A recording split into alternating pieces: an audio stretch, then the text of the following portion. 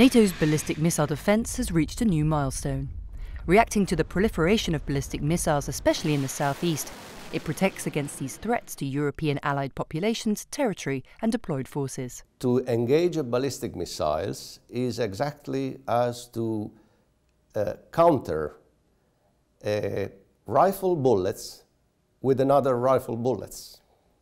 So it's quite a, a, a fantastic systems that needs all these kind of system that should be all interconnected. Made up of sensors and interceptors placed both on land and at sea, nations contribute both assets and personnel, who train together to work in the event of a crisis in a worldwide network that centers around the command headquarters at Ramstein, Germany. It's important to understand that the NATO nations provide the resources for ballistic missile defense and everything is linked in here to Ramstein. Nations' resources stand ready to carry out that action. During an at-sea demonstration in Scotland, a US Aegis ship, one of four they contribute to NATO's ballistic missile defence, worked with Dutch radar to track and intercept an incoming missile.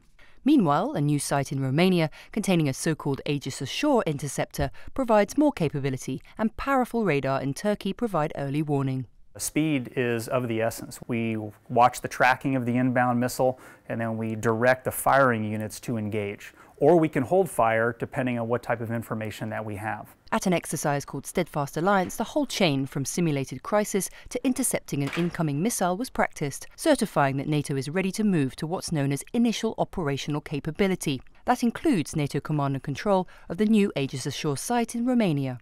Taking into account the instability in certain regions of the world, ongoing right now, we took those factors and placed it into the fictitious world that was built for Steadfast Alliance. So targets that could have been affected during Steadfast Alliance were anywhere from a large population center to any military airport, seaport, port debarkation used by NATO forces to forward project forces to defend NATO European territory along the southern flank.